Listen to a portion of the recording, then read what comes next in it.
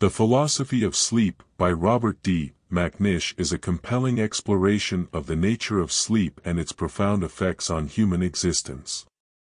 Through a blend of scientific inquiry and philosophical reflection, Macnish delves into the mysterious realm of sleep, unraveling its intricacies and pondering its significance in the context of human life.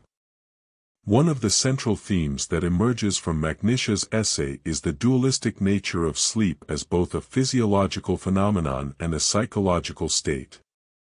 He begins by dissecting the physical aspects of sleep, describing it as a state of partial suspension of the faculties wherein the body experiences a temporary cessation of activity. Through vivid imagery and vivid descriptions, Macnish paints a picture of the body at rest, relinquishing its hold on consciousness and succumbing to the embrace of sleep. However, Macnish goes beyond the mere description of sleep's physical manifestations, delving into its psychological dimensions. He contends that sleep is not merely a state of bodily rest, but also a realm of dreams and fantasies where the mind roams free from the constraints of waking life. Drawing upon both scientific research and literary references, Macnish explores the rich tapestry of dreams, portraying them as windows into the inner workings of the human psyche. In his exploration of dreams, Macnish grapples with the enigmatic nature of the dream world, questioning its relationship to reality and its potential significance for human consciousness. He suggests that dreams may serve as a conduit for the expression of unconscious desires and fears, offering glimpses into the depths of the human soul. Through his analysis, Macnish blurs the boundaries between waking life and the world of dreams, inviting readers to ponder the implications of this fluid interchange between states of consciousness.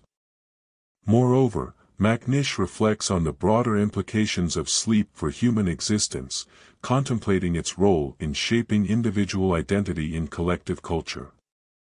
He argues that sleep is not merely a physiological necessity, but also a fundamental aspect of human experience that influences our perceptions, emotions, and actions. By probing the depths of sleep, Macnish sheds light on the intricate interplay between mind and body, illuminating the profound ways in which sleep shapes our understanding of self and society. Throughout his essay, Macnish adopts a contemplative tone, inviting readers to accompany him on a journey of discovery through the mysteries of sleep.